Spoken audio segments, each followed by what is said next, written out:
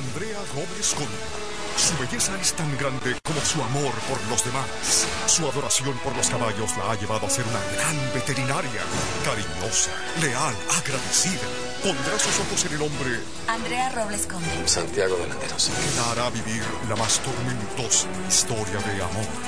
Conócela más de cerca en Estúpido. El Juramento. Su gran estreno el próximo lunes a las 8 7 Centro por Telemundo.